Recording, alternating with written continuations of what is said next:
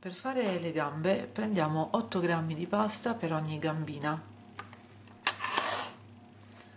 La condizioniamo e creiamo una pallina. Ricordatevi sempre che non ci devono essere crepe in giro.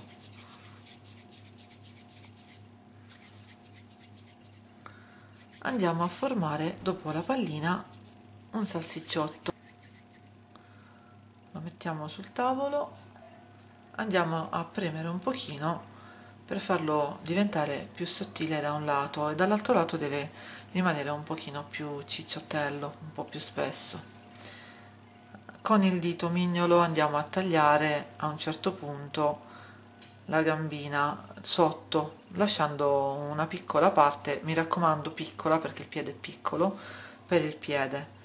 Il resto della gamba a metà andiamo a fare la stessa cosa creiamo un solco e poi andiamo a sistemare con le dita la gamba ammorbidendo le parti dei solchi che abbiamo creato e creando così il polpaccio e la coscetta. Le lolla hanno le gambe molto corte e quindi non dobbiamo allungarla ma dobbiamo lasciarla piuttosto piccolina. Per il piede premiamo sotto con il pollice tirando fuori il tallone. Premiamo sotto leggermente. Siate sempre delicate nei movimenti. E appiattiamo in maniera da avere la gambetta. Io le scarpe di solito le dipingo, quindi mi facilita il lavoro dipingendo le scarpe e i calzini, perché così non vado a crearle con la pasta, essendo porcellana fredda si possono dipingere. Prendete uno stecco di bambù e andate a infilarlo al centro sopra, al centro della coscia e ruotando, quindi facendo il movimento di rotazione dello stecco, andate a infilarlo nella gamba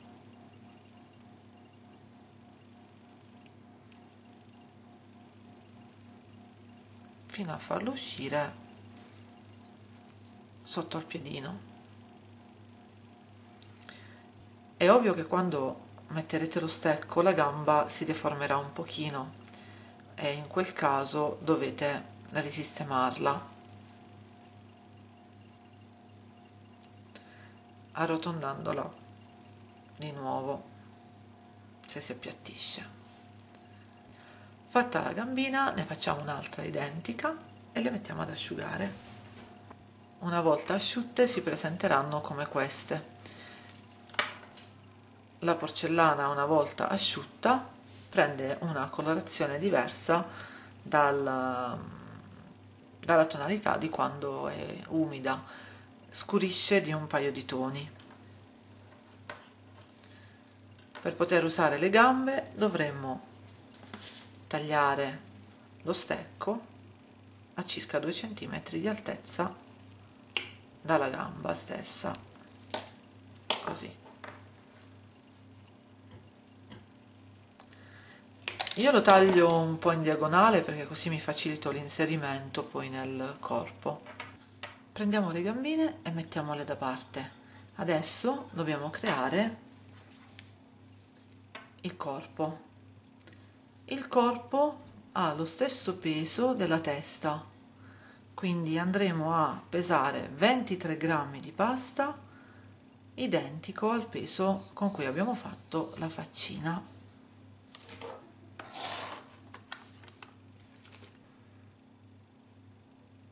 Prendiamo la pasta e la morbidiamo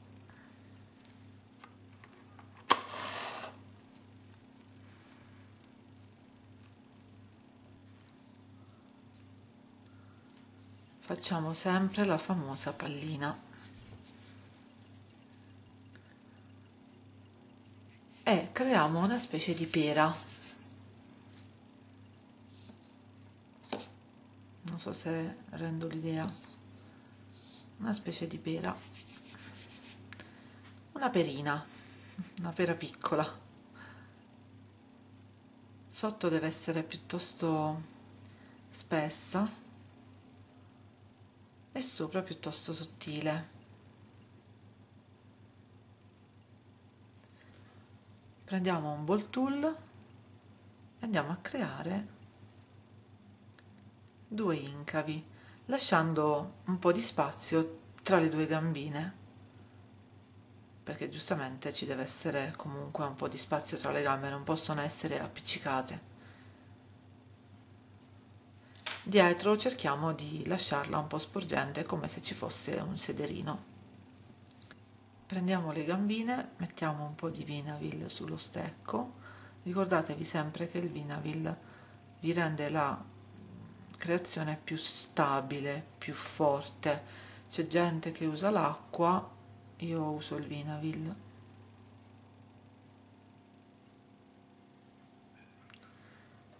e ne mettiamo un po' anche nell'incavo negli incavi che abbiamo creato con il ball tool.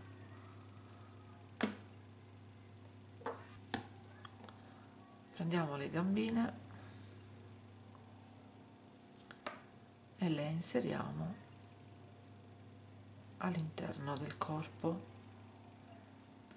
facendo attenzione a tenerlo dritto quindi non storte ma deve essere in linea dritta con il corpo.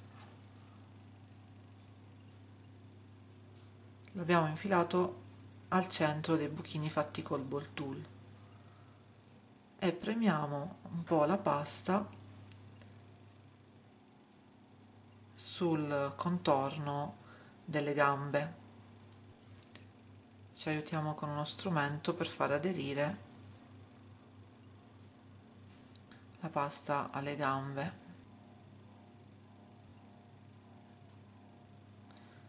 Ripeto fate in modo che sia in linea retta con il corpo.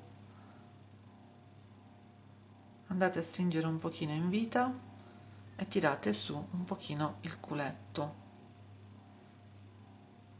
In questo modo. Ora inseriremo la testa. Metto due stuzzicadenti per rendere più stabile poi il corpo una volta asciutto. Oppure potete mettere uno stecco di bambù. Metto un bel po' di colla sugli stuzzicadenti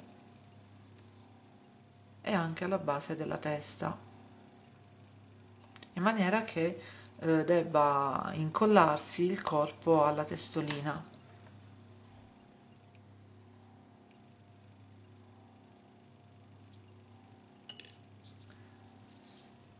E vado ad inserire gli stuzzicadenti sul collo. Vado piano piano giù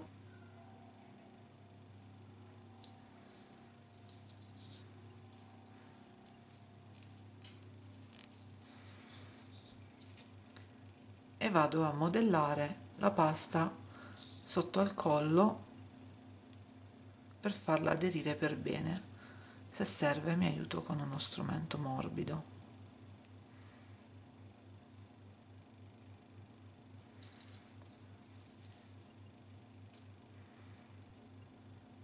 La colla, anche se si vede da bagnata, diventa poi trasparente una volta asciutta.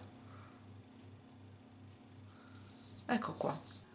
Fate in modo che sia perfettamente allineato testa corpo gambe e mettete ad asciugare per 24 ore